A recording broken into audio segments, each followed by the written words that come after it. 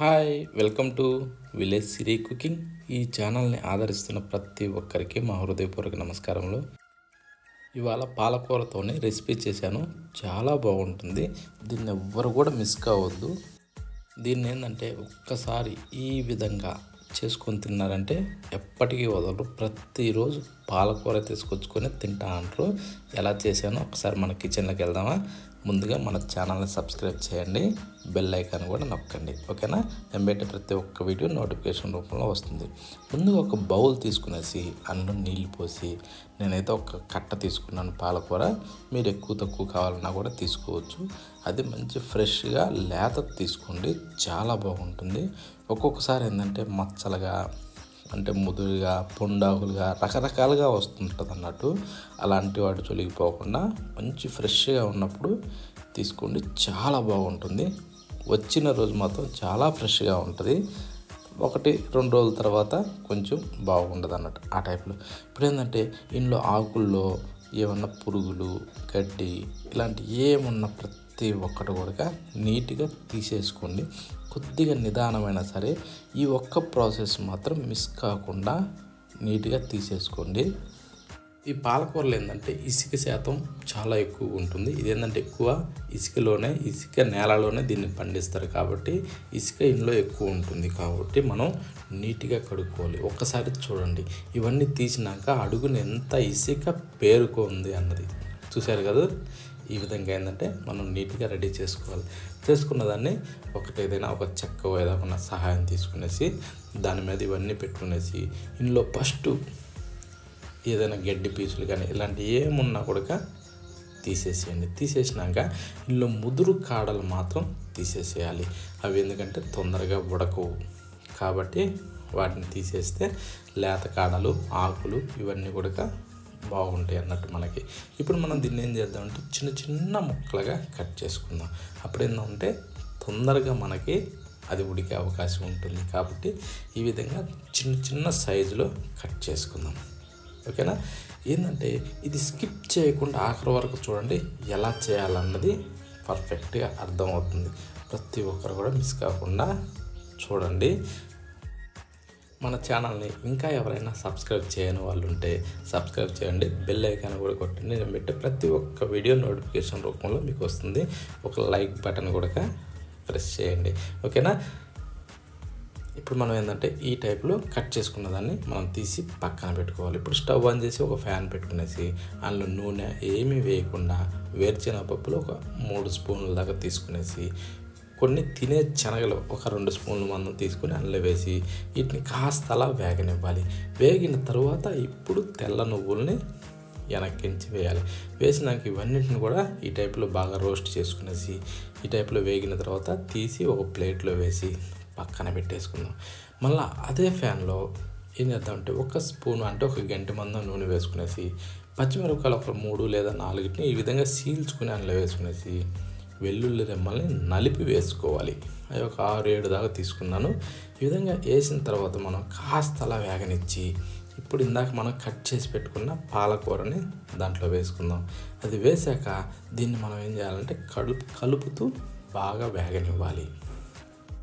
దీన్ని మనం బాగా కలిపిన తర్వాత ఇప్పుడు మూత పెట్టి ఒక రెండు మూడు నిమిషాల సేపు బాగా డమ్మనగనివ్వాలి.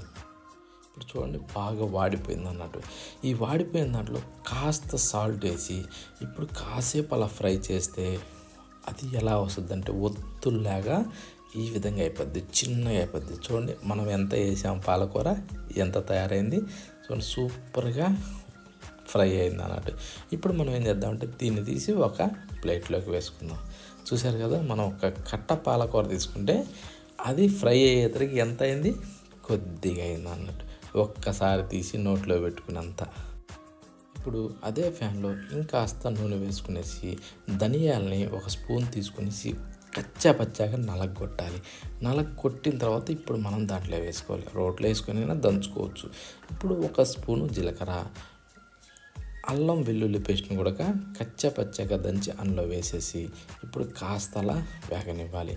అల్లం వెల్లుల్లి పేస్ట్ ఏంటంటే పచ్చి వాసన పోయేదాకా వేగిన తర్వాత ఎర్రగడ్డ ముక్కల్ని ఒక రెండు లేదా మూడింటిని కట్ చేసి అందులో వేసుకునేసి చిటికెడు పసుపు యాడ్ చేసి బాగా ఫ్రై కానివ్వాలి.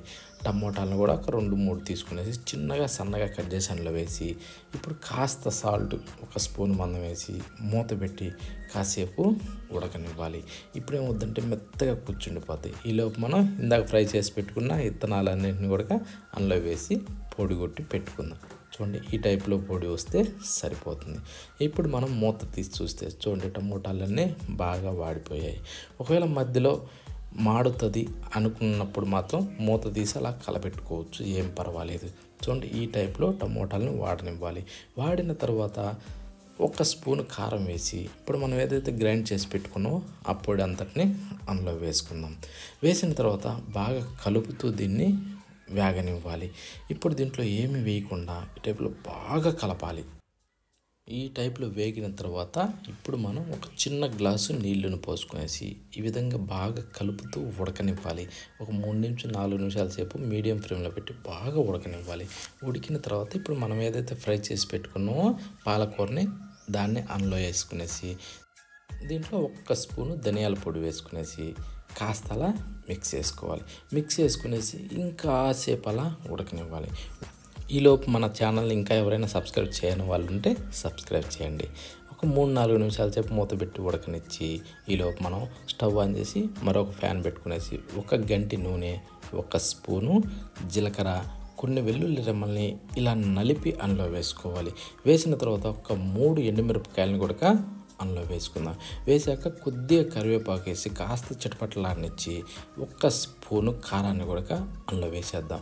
వేసినాక కాస్త అలా కలిపి మంచి కలర్ వచ్చిన తర్వాత స్టవ్ ఆఫ్ చేసేయాలి. స్టవ్ ఆఫ్ చేసి అప్పుడు దీన్ని తీసి మనం ఏదైతే ఇప్పుడు దీన్ని ఉడకబెడుతున్నాం కర్రీ దీన్ని మూత తీసి కాస్త అలా కలిపి ఇప్పుడు మనం పోపు వేసాం కదా అది దాంట్లో వేసేసుకుందాం. వేసుకున్న తర్వాత ఇప్పుడు మనం దాంట్లో వెంటనే మూత పెట్టేసేయాలి. మూత పెడితే ఏంటంటే మనం వేసిన పోపు ఆ కూరలోకి బాగా ఇనికి సూపర్ రుచి వస్తుంది అన్నట్టు ఆ స్మెల్ బయటికి పోకుండా మొత్తం కూరకే పడుతుంది అన్నట్టు అదేంటంటే దీనికి మెయిన్ టర్నింగ్ పాయింట్ అది. ఈ టైప్లో మనం చేస్తే సూపర్గా ఉంటుంది అన్నట్టు కానీ దీన్ని మాత్రం మిస్ కాకండి. పోపు వేసిన వెంటనే మనం మూత పెట్టేసేయాలి. మూత పెట్టాక మళ్ళీ తీసి ఒక్క నిమిషం అలాగే తీసిన తర్వాత ఇప్పుడు కొత్తిమీర చల్లుకునేసి ఒకసారి చూసుకోండి. కూర చూస్తుంటేనే నోట్లోంచి నీళ్ళు అలా వచ్చేస్తాయి. అంత బాగుంటుంది ఆ వచ్చే స్మెల్ కానీ కూర ఉండే కలరింగ్ కానీ సూపర్గా ఉంటుందంట ఇది దేంట్లోకైనా సరే చపాతీ కానీ రోటీ కానీ అన్నం కానీ దేంట్లోకైనా సరే పర్ఫెక్ట్గా సెట్ అవుద్ది. ప్రతి ఒక్కరు కూడా మిస్ కాకుండా ఆఖరి వరకు చూసినందుకు అందరికీ ధన్యవాదాలు. ఇది ఎలా ఉందన్నది కామెంట్ రూపంలో తప్పకుండా పెట్టండి. మళ్ళీ కలుద్దాం. ఓకేనా?